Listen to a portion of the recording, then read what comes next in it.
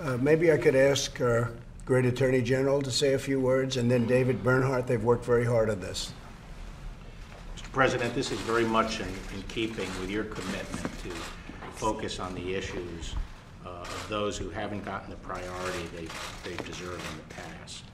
Uh, This is, as you know, this is a very uh, vexing and and dangerous issue in Indian country, Uh, and I appreciate your leadership on it, and I'm looking forward to working with the Secretary on, on this uh, task force. Good. Thank you very much. Thanks, Bill.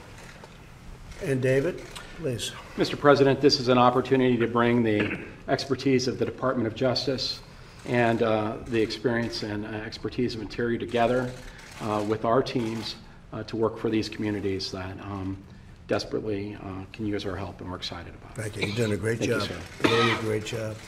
So this is very important, and very important to me and to David and to Bill and to everybody here. And these are great leaders. They've suffered tremendously. And we're going to see if we can stop that. So thank you all for being here. Thank you very much. Appreciate it.